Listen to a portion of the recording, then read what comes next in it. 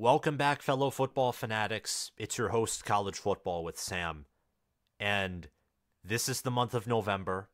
We're 10, or if you've played in week zero, 11 weeks into the pool, or the ocean, rather. That's how deep college football is. The ocean that is the college football season. And November is the month where you can't fake it until you make it. Either you've already made it you found a formula to win if you're a team that has faked it until you've made it, or you started out strong and you're finishing strong and you are peaking right now, or you're a fraud and you haven't been discovered yet. This is the month where champions are bred, where iron sharpens iron, where good teams in battling against each other either cripple their opponent or sharpen them for greater things to come. And this Saturday at noon, with Gus Johnson and Joel Klatt wearing their headsets in the booth, calling a wonderful game, James Franklin on the sidelines in a game where, as much as we've been talking about how this is a prove it game for Michigan, this is also a prove it game for Penn State, not just in regards to James Franklin and if he can beat top tier competition, but also because outside of Ohio State, Penn State has had an extremely weak schedule. And we'll get into the schedules of both of these teams here in a few minutes. But before we dive any deeper, please hit that subscribe button, click the notification bell so that you can get notified when I do these extra previews for big games Tomorrow, I will be releasing a preview and prediction segment. This video, there will be no prediction, but what I'm trying to do here is give you information, give you my thoughts, my analysis, and let you make your own prediction down in the comments below. So, if you want to do this, comment down below your initial prediction for this game and then make another comment or edit your old comment at the end of this video telling me what you think your prediction is after you watch this content. Also, like this video. Please comment your thoughts down below. Commenting and liking helps this video get into the algorithm. And we're trying to reach 20,000 subscribers by the end of the 2023 college football season. Michigan, Penn State, they have massive fan bases. So if you know any Michigan or Penn State fans who want more college football voices to listen to, please send them this video via a link or sharing it otherwise. And lastly, if you want to support the channel, check out my Patreon page via the link in the description so that you can support the channel and your support's appreciated. Or if you want some bonus content as well, you can pay an extra 5 or $20 a month, depending on how extreme of a fan you want to be. And you can get insider access to my picks and also potential power. And I guess where I will segue into talking about this game is talking about potential power. Potential power has been down for a week, and unfortunately, it won't be up this week. And I really wanted it to be up this week to talk about Penn State and Michigan so I could, you know, use potential power to give a prediction, but I can't. And that's okay. Potential power was around 50%, 55% in covering against the spread, and it was around 74, 75% in terms of picking the correct money line. However, I'm optimizing it automating it so it can be easier on myself and so I can also grade every FBS team, not just the Power 5, and using a wide variety of information to make it accurate. But two weeks ago, two weeks ago, Potential Power had Michigan as the best team in all of college football.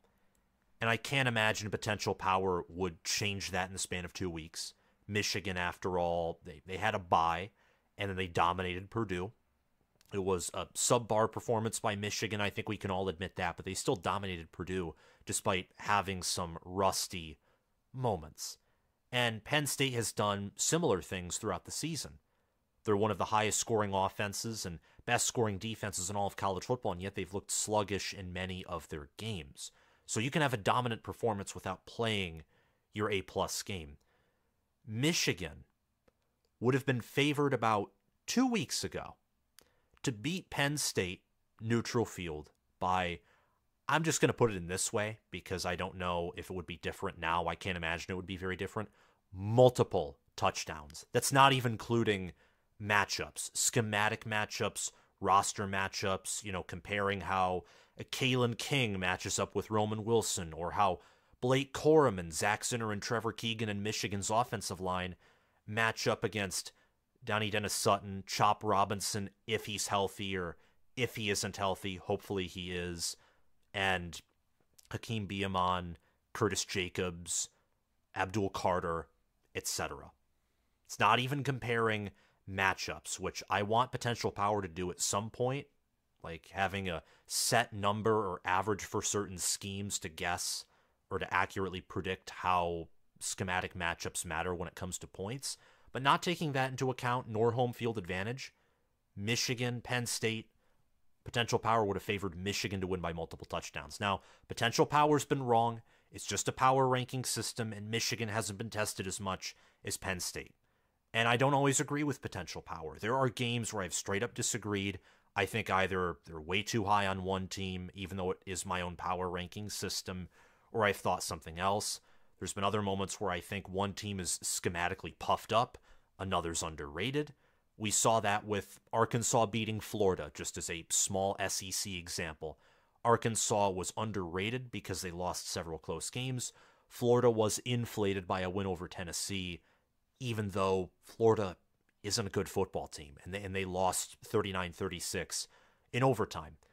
But the numbers, as we'll show throughout this video, I do think favor Michigan. What favors Penn State's home field advantage. And typically, home field advantage is closer to a field goal than not, in my mind. In my opinion, Beaver Stadium's home field advantage, even without a whiteout, is such that it's closer to a touchdown than a field goal. Penn State is one of the best home field advantages in all of college football. And this doesn't adjust for, you know, how good each team was in a given season in the same way that Penn State's record on the road against Michigan doesn't either. But when Michigan travels to Beaver Stadium and Penn State travels to the Big House, there are lopsided results in favor of the home team. Penn State, you know, crushing Michigan 42 to 13 in 2017 beating Michigan 28 21 in 2019. Those were home games. Michigan lost to Penn State 27 17 during the COVID season. At that point, even though it was played at the big house, that was closer to a neutral site game than not. You flip it the other way around. Michigan beat Penn State by more than four touchdowns. I forget the exact score in 2016. In 2015, Michigan won 28 to 16 at Beaver Stadium. They also won 21 to 17 at Beaver Stadium, but those were, you know, pretty close wins. Penn State was competitive. Meanwhile, other times Penn State has either blown Michigan out at Beaver Stadium or they got a big lead and then let Michigan kind of crawl back but fail to achieve a win like in 2019. Michigan in 2018 won 42 to 7. And last year, Michigan at home won 41 to 17. So the home team in this series has a pretty significant advantage. They really do. And James Franklin has never won in a full big house. It's very challenging for Jim Harbaugh to win in a full Beaver Stadium. Jim Harbaugh, he's only beaten Penn State in a whiteout once, and that was 2015, losing the 17 and 19 games. And this game should be a whiteout. I do not want to distract from that either. This should be a whiteout game. It absolutely should. This should be prime time. If I could get this at 8 p.m., Gus Johnson, Joel Klatt, even though it would give my team, the Wolverines, a disadvantage, I would take it. I mean, this should be a night game. And speaking of which, here's another factor in this way too early preview that I can't give you a definite answer on. I can give you a confident answer. I'm confident that Jim Harbaugh will be on the sidelines coaching in this game because I think that even if the Big Ten tries to suspend a Michigan, will likely be able to successfully at least keep that at a safe distance and keep you know, punishments at a safe distance until the end of the season, but I can't guarantee you that. He could not be on the sidelines on Saturday, and maybe that makes a big difference, or maybe since Sherrone Moore calls the plays on offense and Jesse Minter calls them on defense, maybe Jim Harbaugh not being there doesn't make that big of a difference. Who knows? Uh, but Michigan's 9 0 right now. They're third in the college football playoff rankings. Penn State's 8 and 1. They're 11th in the college football playoff rankings. Uh, these rankings will be null and void as of tomorrow, Tuesday at, you know, 7 7:15, 7:30 p.m. Eastern Standard Time whenever the rankings are concluded after being released from, you know, ESPN and other sources and the College Football Playoff Committee. But they'll be pretty close to what they are right now. There were teams ahead of Penn State that lost, I think the only one being Oklahoma, so Penn State will reach into the top 10. I don't expect Michigan to move up from 3 unless they win this game. If they lose, Michigan will fall. Michigan, I could even see a scenario where they beat Penn State and they don't rise ahead of Ohio State and Georgia, even though I think it's more likely they'd rise to the number two spot. Probably won't take the number one spot unless they beat both Penn State and Ohio State. So, the College Football Playoff Committee views Michigan really just because Michigan is undefeated and Penn State isn't as the better team. Penn State's only losses to an Ohio State team that right now is among college football's elite. That number 11 ranking for Penn State tells me they are not getting in the playoffs with an 11 and 1 record. And by 11 and 1, I don't mean regular season, I mean factoring in conference championship. Penn State has to reach Indianapolis and they have to win in Indy. They have to be 12 and 1 to have a shot to get in. I don't think Penn State can get in with an 11 and 1 record. I think Michigan might have a chance to do so. I think Ohio State out of all these 3 teams has the best chance to get in with an 11 and 1 record without, you know, winning the division in the tiebreaker and going to Indianapolis just because of their brand, strength of schedule, and the fact that losing to Michigan on the road, they did that in 2021, and they lost to Michigan last year at home by over three touchdowns and snuck in. So I think Penn State, they need everything to go their way, not just this game, but they also need Northwestern, Illinois, and Iowa to step up and win more games to ensure that they win the tiebreaker if that even matters, because first and foremost, they need to focus on winning this game. For Michigan, though, they're not guaranteed anything right now. Not even if they win this matchup. Michigan, with the sign stealing allegations and their weak strength of schedule, one loss, they might be out. Unless, let's say, they lose to Maryland in a close game, but then beat Ohio State and Penn State and also win in Indianapolis. Any of Michigan, Penn State, or Ohio State being 12 and 1 even if they lose to a crappy team. Very likely, unless all remains constant and no other upsets happen in any other conferences, they're probably getting into the college football playoff. I mentioned earlier in the video that this is a prove it game for Penn State as much as it is for Michigan. And that might confuse some people because Penn State has played Ohio State. West Virginia is a decent team. Iowa is a winning record at 7 and 2. What are you talking about, Sam? What do you mean it's a prove it game for Penn State? They've played a tougher schedule than Michigan has. Well, I'll tell you why. You look at ESPN's efficiency metrics. Ohio State, Penn State's toughest opponent, is the third most efficient football team. Michigan's toughest opponent so far is Rutgers, who's a whole 40 spots below Ohio State in efficiency. It was an admirable effort from Greg Schiano to play Ohio State as closely as he did. 35 to 16 is a very deceitful score that doesn't indicate how the game went. That was a close game, a competitive game for three quarters until Ohio State pulled away.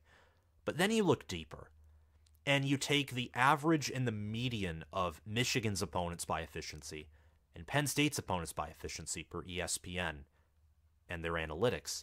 The average efficiency ranking of Michigan's opponents is 76 on average, well, there's also a third of a point, but we can ignore that because that's also the case for Penn State. On average, the average Michigan team, um, team rather that Michigan has faced all season long is in the 76th place out of 131 or 33 FBS teams. They're in the bottom half, bottom 40, 45% of all college football teams. That's the average opponent that Michigan has played. The average opponent that Penn State has played is only five spots better 71 out of 133 teams. That's because Penn State, while facing West Virginia and Ohio State, who are better than the best team that Michigan's played by efficiency. They've also played Delaware, they've played UMass, they've played Northwestern. All of these teams are uh, safe to say abysmal. UMass and Delaware outside of the top 100. Delaware, I just put 133rd out of 133 because they're an FCS team. Northwestern, they're 94th. And then when you look at the median, it's a little more favorable to Penn State.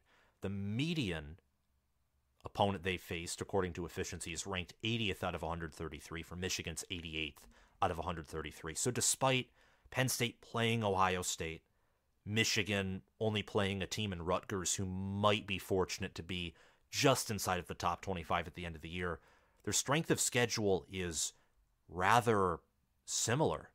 It is. And Michigan, according to efficiency, is the most efficient team in college football, the best team in college football. Penn State's in the top five, right at that five spot.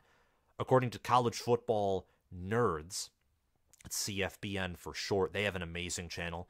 Michigan is ranked number one according to their power rankings. Penn State is 13th. Michigan's also number one according to S&P Plus. Penn State is fifth. The Vegas line is Michigan minus four and a half as of right now. Um, but according to ESPN's FPI, subtracting the larger value, that being Michigan is their number two, and then subtracting Penn State's value from theirs, Penn State's number four. Michigan's about 27 points, according to FPI. Penn State's 25. Home field advantage on average in college football is three. According to FPI, Penn State should be either favored very slightly or it should be a total pick 'em. Meanwhile, nearly a full touchdown is added onto that in favor of the Michigan Wolverines. And I, I don't know exactly what that means. I, I have an itching that that means Vegas is hedging their bets on Michigan winning this game. Right now, according to ActionNetwork.com, looking at Penn State and Ohio State, last time I checked, initially when this spread came out, the Wolverines were favored by six and a half, quickly fell Right now, this game is Michigan favored by four and a half, minus 200 money line. Exactly 60% of bets are on Michigan to cover the spread, 40% are on Penn State to cover. I'm just using the free edition of Action Network so I can't see where the money is, but I can see where the total number of public bets are. And when you go into their public betting section and you look at the money line and the percentage of bets there, last time I checked it wasn't available, 49% of bets are on Penn State money line, 51% are on Michigan. So this is a very um, split game in terms of who thinks who's going to win. I think that a lot of people look at this game, they see this is Beaver Stadium we're talking about, large home field advantage. Almost everyone has seen highlights of the 2019 Michigan versus Penn State whiteout just because the false start, the unbelievable noise. Michigan and Penn State. Analytically, Michigan's the better team. But last week, and we all know recency bias can be a thing, last week Penn State did play the better game. They've played the tougher schedule. It seems like they're gaining momentum heading into this matchup, while Michigan had to shake off some rust against a Purdue team right now that's 2 and 7. And while Michigan and their football team seem like they're galvanized around this whole sign stealing accusations, illegal sign stealing, not legal sign stealing. I want to make that um, clear there. It could also mentally wear on them, and it could really make them question how good of a team they actually are. So there's a lot at stake here. There really is. Michigan has not lost a Big Ten game since they played top 10 Michigan State on the road in 2021.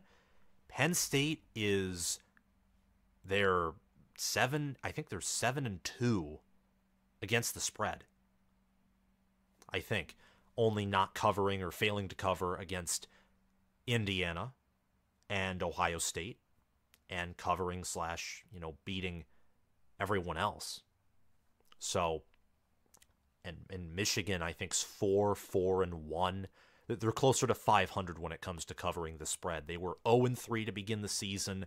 The only Big Ten matchup where they didn't cover was Rutgers, where they split. There was no action there. They won by 24. The spread was 24 in favor of the Wolverines.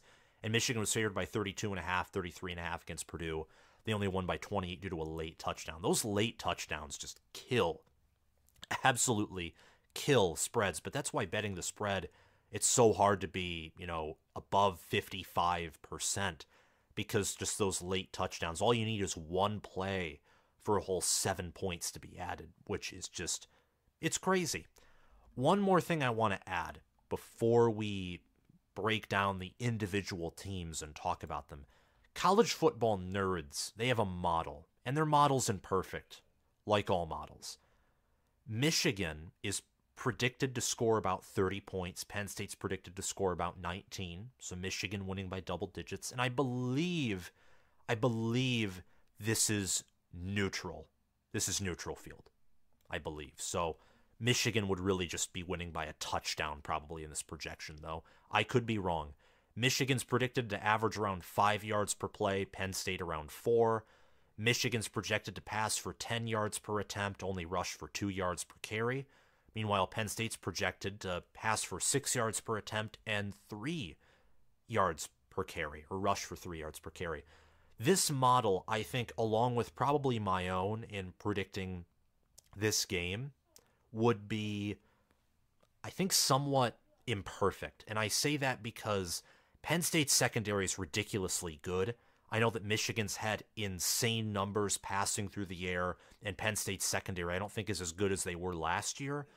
Or more likely, they've had some pretty off games this season. It's always tough to play Ohio State on the road and face Marvin Harrison Jr., and Indiana took advantage of busted coverages several times. Also, Taulia Tagovailoa did have a pretty successful day against their secondary, but he had no run game, and Penn State later in the matchup was able to take advantage of their one dimensionality. But I don't think Michigan's passing for 10 yards per attempt on Penn State. I also don't think they're rushing for only two yards per carry on Penn State. I think that the truth will be somewhere more in the middle. I don't think Michigan will have that much success through the air against Penn State. Maybe they'll average 10 yards per pass attempt, but if they do, I imagine they're not going to be throwing it a ton. It'll probably be via play action off the run. Michigan's offensive line will be facing a Penn State D line that I think has intentionally undersized defensive tackles and edge rushers because Penn State's built to beat Ohio State, I think, more than they are to beat Michigan. And you look at Penn State and the opponents they've played in the same way that Michigan hasn't played really competent quarterbacks, they've played pretty suspect quarterbacks all year. Katin Houser and Hudson Card, maybe, maybe Bowling Green's quarterback or Gavin Wimsatt was the best quarterbacks they've played all year. That's not very impressive, and it's concerning given their secondary play and allowing big plays at times. Penn State has played Iowa, who struggles offensively. Penn State has played Northwestern, who can't run the football. Illinois had injuries along their running back room, and their offensive line is awful at protection. Indiana can't run the football. And Maryland, Maryland's offensive line has been destroyed in the past four weeks. They're not the same team the Terrapins aren't compared to what they were in their first five games. Though playing a rough schedule will do that to you. It, it will break a team that is not mentally and physically tough. For Penn State, I think college football nerds model is more accurate on. I would expect Penn State to rush for two, three, four yards per carry on Michigan and pass for a little under six or around six, just given how Penn State's and Drew Allar are averaging six and a half, 6.6, 6.7 yards per pass attempt and on the ground they're averaging four, four and a half yards per carry.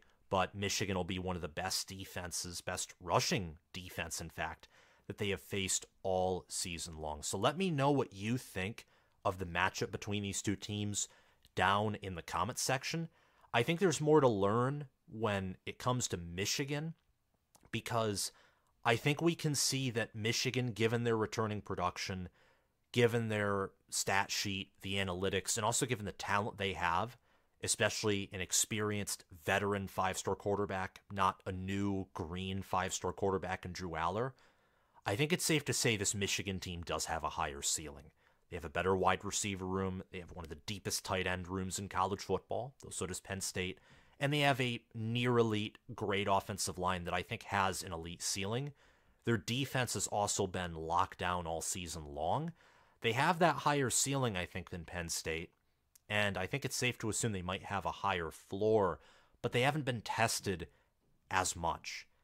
And Penn State, they've only played one really tough team, really great team, but you can't fault them for that because the Big Ten outside of Michigan, Penn State, and Ohio State is just dog poop. And Rutgers is above average, good. Maryland at this point might be trending toward dog poop.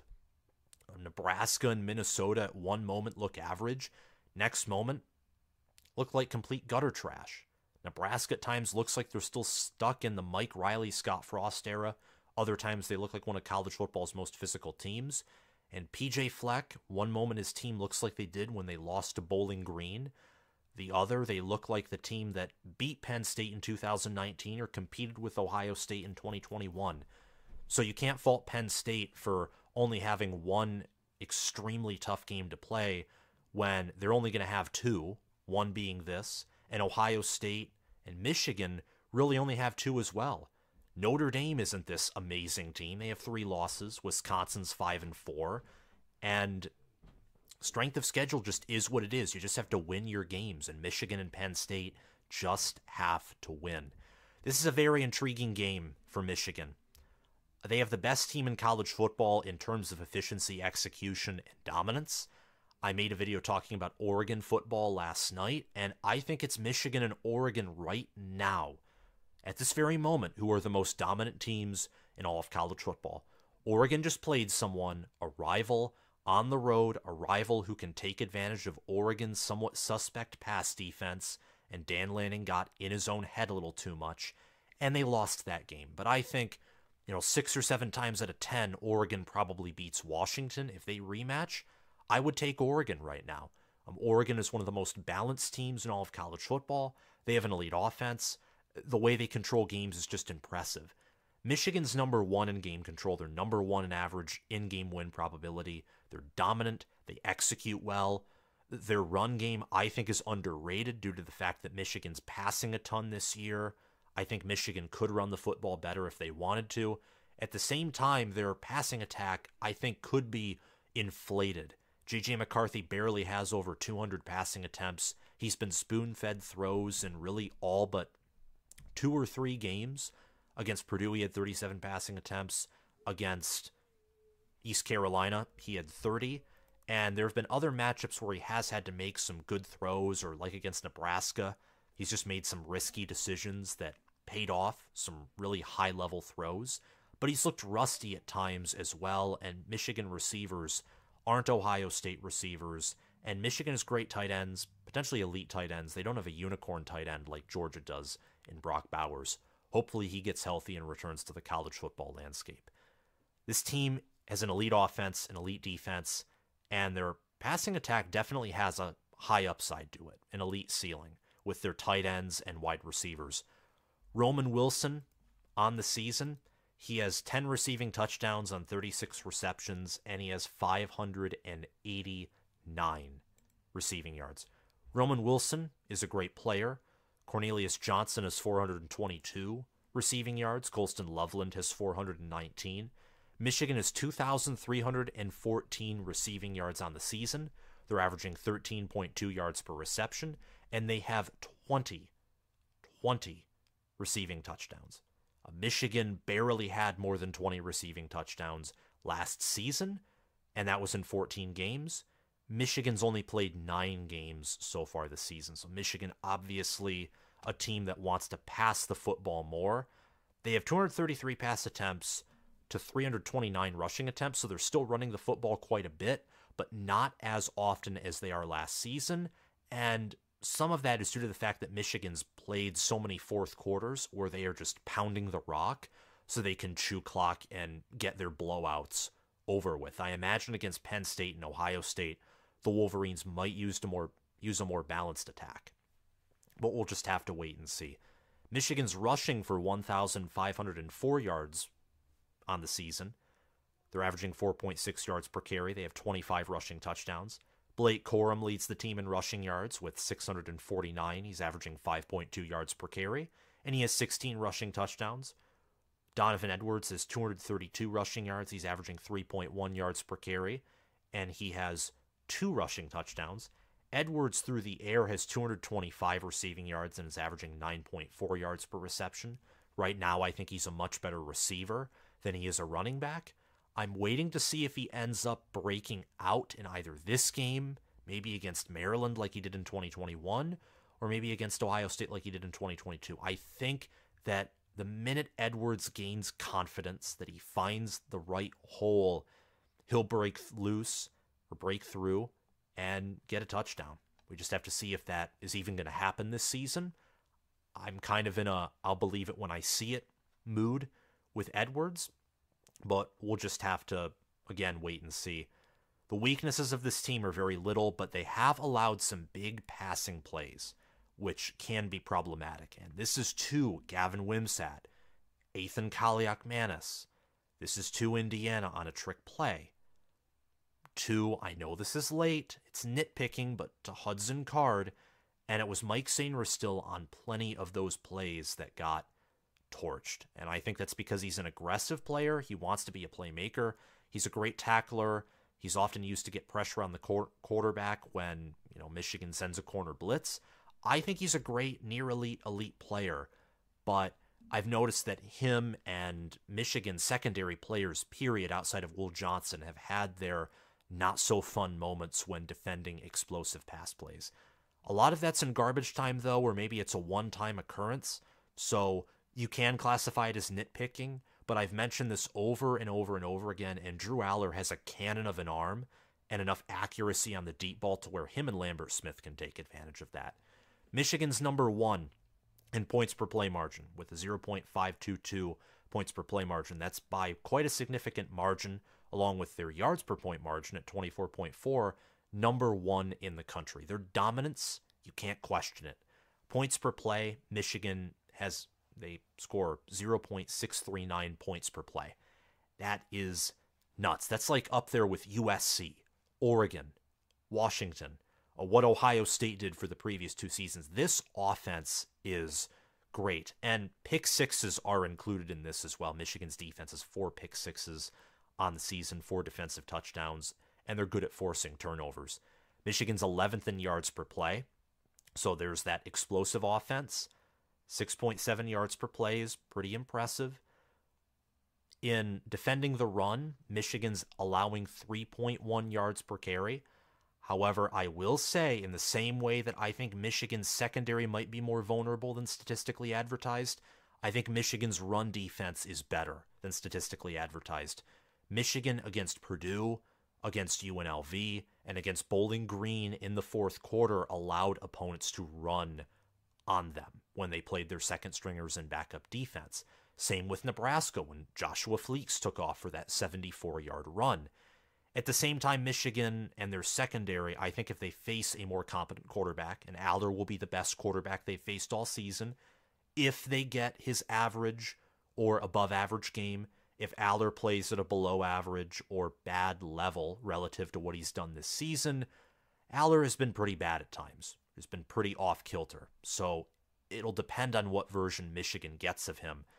But Watch for those numbers. I wouldn't be shocked if Michigan and yards per carry allowed stays the same or decreases, and their passer rating in a bad way it allowed increases. From opponent points per play, Michigan is first by a significant margin, only allowing 0.117 points per play. They're very good at keeping teams out of the red zone. They haven't allowed a first and goal yet all season long, which is just, it's nuts. That's totally nuts. I don't think they've allowed a first and goal all season long. Correct me if I'm wrong, but we're nine games in. This is one of the best, if not the best, defense in the country. And they're allowing 4.1 yards per play, which is fourth nationally. Now let's talk about Penn State. The Penn State Nittany Lions, they have an opportunity on their hands. James Franklin only has one regular season top 10 win. That came at home in a night game against an Ohio State team that Ohio State fans would say was one of the lesser Ohio State teams of the past decade. I mean, 2016 Ohio State underperformed having Curtis Samuel and having JT Barrett. And I forget his name, but they had an All American center as well. I mean, Ohio State had players, they had talent. That was when Ed Warinner, former Michigan O line coach, was Ohio State's OC. And Ohio State fans were driven nuts by his play calling. Um, I digress. Penn State that season was magical. They were insanely clutch. Two of their three top 10 wins under Franklin came in that season, where Penn State at the end of the year wasn't that statistically impressive. Um, a lot of that was due to the fact that their defense allowed a ton of points to Pittsburgh, who had an elite offense, to Michigan, who had a great offense, and to USC, who had a near elite offense. Penn State was 21st in points per game that season, 47th in opposing points per game, yet they were 8th according to the simple ranking system and they were 11 and 3 just a few plays away perhaps from winning, you know, two of those three losses. It was a very clutch, finesse, tough, persistent Penn State team. We haven't seen that same mentality amongst many of these Penn State teams, at least in moments where it matters. We've seen it last year in November after they lost to Michigan and OSU, and they looked like one of the best teams in all of college football. But they lost their two biggest games, and barring a miracle, they were locked out from even being considered to play in Indianapolis. We've seen it with Penn State at times in 2019 when they were just, they physically pounded you. Then the Minnesota upset happened, and then Ohio State physically pounded Penn State. And in 2017, I think Franklin had his most talented team, a more talented team with Barkley and Gesicki and McSorley, an even more talented team than this year's, and they lost two games by a combined four points. Similar story to 2016 Michigan, just two seasons that are full of what ifs. I think 16 Michigan and 17 Penn State, here's something that Michigan and Penn State have had in common. They had better teams than Ohio State for years, or at times, but Ohio State had the much better and much more dedicated and football IQ head coach in Urban Meyer, and he was able to compensate for his team's, I think, lacking of whether it's talent, physicality, development, whatever you want to call it. I think that 16 Michigan was better than 16 OSU and 17 Penn State was better than 17 OSU, but both those teams had to play on the road. They weren't as clutch as Urban Meyer or Ohio State. Therefore, Urban went 2 0 against the 16 and 17 teams that had to play in his house, and I think were better than his overall. That doesn't pertain much to this video, other than saying that James Franklin just. He's like Jim Harbaugh pre whether you want to call it pre 2021 change or pre sign stealing or somewhere in the middle where Jim Harbaugh changed as a coach, but sign stealing helped him. James Franklin's a lot like Jim Harbaugh circa 2015 to 2020, where he just couldn't win a big game for the life of him. Now, at the same time, as I've said in comments, I don't think it's fair to take all of Jim Harbaugh's wins or big wins away from the past two seasons, but you do have to wonder if things would have been differently. You have to wonder, it's very likely the case that some games that were W's could have and would have turned into L's if he didn't have a legal access to sign stealing. You have to at least wonder that. If you don't want to consider that, at least, well, if you don't think it's true, at least consider it's true. Consider that to be the fact. But Franklin has home field advantage. This Penn State team, I think, is peaking. When you look at their defense, they're only allowing 1.8 yards per carry. Now, that's sack adjusted. Penn State, with the amount of sacks they get, is going to be inflated in that statistic, and they haven't faced too many rushing offenses that are, you know, competent, but it's still it's extremely impressive. This I can tell you for a fact this is a much better run defense than last year's run defense. Now, does that mean Michigan will run for 50 yards and average 1.5 yards per carry? I don't know about that, but we'll have to see. It's a possibility, given how Michigan's rushing attack at times has looked lethargic. Much like Penn State's offense, though. We'll get to that in a few seconds. Defensively, Penn State is first in yards per play, allowing 3.8. They're fourth in opponent points per play allowed, with 0.193 points allowed per play. And they're ninth in defensive passing efficiency allowed, allowing a 109.24 passer rating. Again, though, they faced Kyle McCord and Marvin Harrison Jr. They faced better passing offenses. This includes Garrett Greene in West Virginia and even Luke Altmyer in Illinois. Luke Altmyer is one of the better quarterbacks. Same with Northwestern's quarterbacks, whether that's a Ben Bryant or Brendan Sullivan. Those are some of the better quarterbacks in the West. So at the same time that Michigan's faced better run offenses, Penn State has faced better passing offenses. Again, I'm very curious to see after this game who we consider to have the better defense. I, I'm very that is an area that I am fascinated in. I think if Penn State wants to win, they have to have the better defense, and I will give Penn State this. They right now they have almost identical defensive statistics if you take the four stats that I've showed you on the screen all into equal consideration. They have pretty darn near equal defenses, and Penn State has played a great offense or a good offense in Ohio State. Michigan, best offense they've played. It's just kind of you know, funny considering it's probably Rutgers because Rutgers has a near elite rushing offense. They just have a very poor passing attack. So if Penn State, I think, wants to win this game, they have to have the better defense. Michigan, they can't make mistakes because Penn State is the team that forces more turnovers and doesn't give up as many turnovers. Penn State is better at taking care of the football and they have better special teams play than Michigan. So Michigan, you can't make mistakes. I think that's the biggest key for them is do not turn it over. Do not give Penn State a short field for Penn State, not only force turnovers, which, you know, would help imply they have a better defense, but you have to be stout defensively because this Michigan team is more efficient at scoring points and they have a much more explosive offense than you do. Penn State is 91st, 91st in yards per play. Now it helps that they've converted nearly 15 fourth downs. Uh, their quarterback sneak with their, you know, big offensive line is one of the biggest in the country and a quarterback in Drew Allar who honestly could function as a power back or a fullback in short yardage, their quarterback sneak is unstoppable.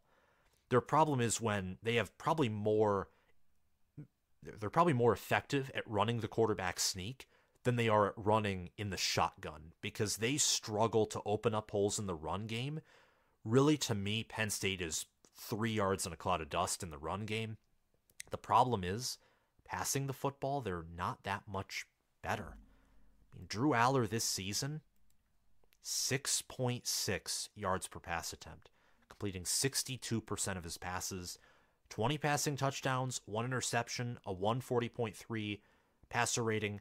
The secret to his success is half of his passing touchdowns are to tight ends Theo Johnson and Tyler Warren, who have nearly 500 receiving yards they have 47 receptions and they're averaging around 10 yards per reception.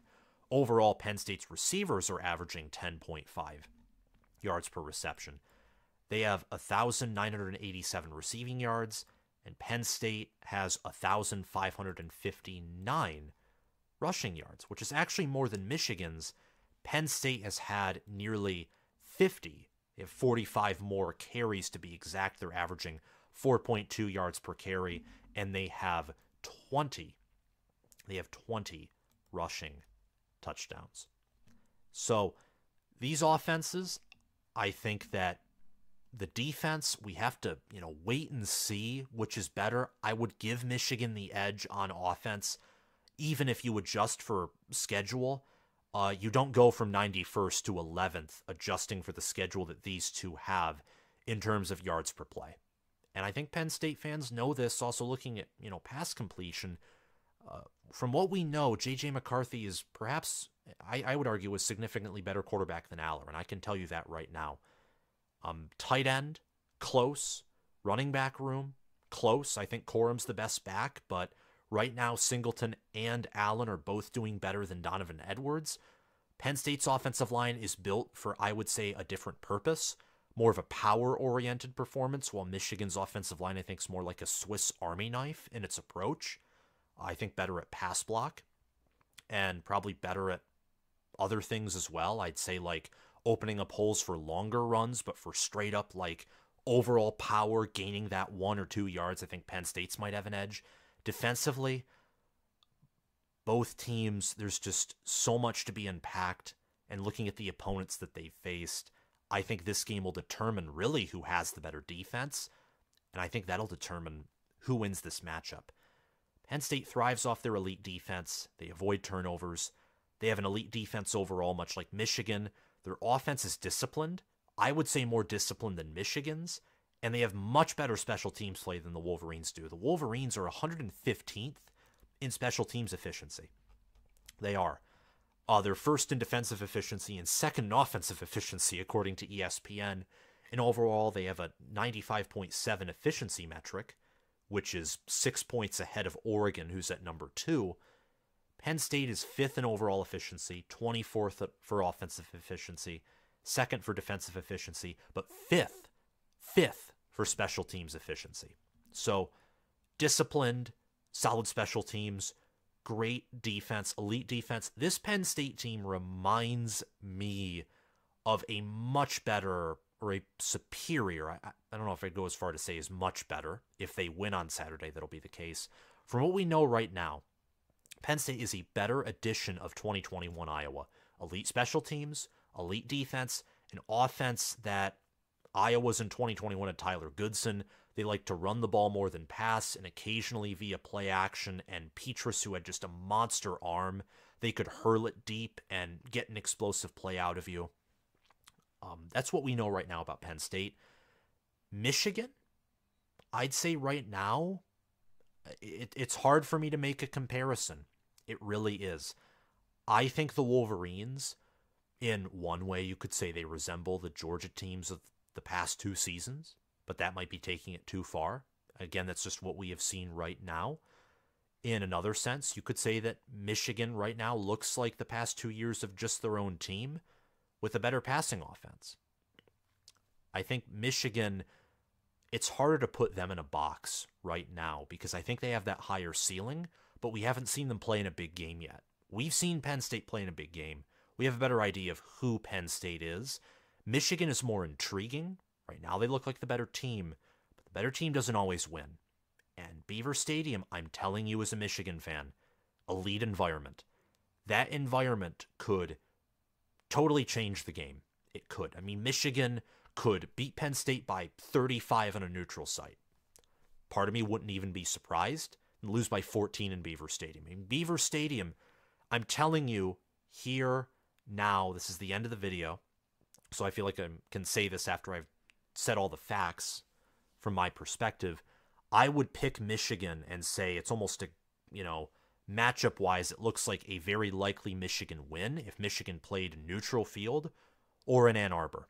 But Beaver Stadium makes a massive difference, and that's where you'll have to wait until my preview video tomorrow to see what I have to think. Thinking to Crash 2488, Anthony McDowell, Justin Raj, Spencer Bringhurst, Noah DDLC, SFS Inverted, Will Loftus, Gabriel Calendar, Roaming Gnome, Matthew Sale, Chris Lane, Austin Christmas, and Zubin Za for being Patreon sponsors. Have a phenomenal day, guys, and I will see you all around. Bye bye.